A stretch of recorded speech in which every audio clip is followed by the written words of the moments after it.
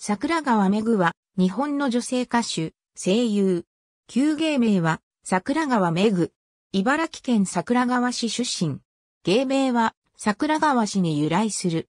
プロフィット声優養成所を卒業。株式会社 S 所属。桜川応援大使であり、桜川市バスの車内自動放送の声も担当。中学時代にミュージカルで美女と野獣の主人公ベルを演じたことをきっかけに演技や歌に興味を持つようになる。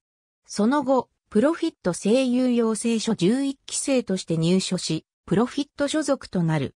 養成所在学中に PSP 用ゲーム、この青空に約束を手のひらの楽園のオープニングテーマ、つま先ムービンオンで歌手デビュー。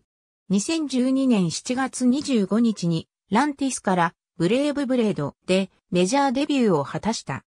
2016年4月1日付でプロフィットを退所し、フリーランスとして活動。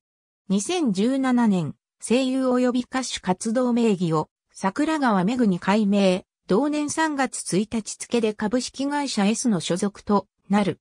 2017年7月、出身地である茨城県桜川市の桜川応援大使に就任。2019年11月には茨城大使にも移植された。太字はメインキャラクターはインターネット配信。ありがとうございます。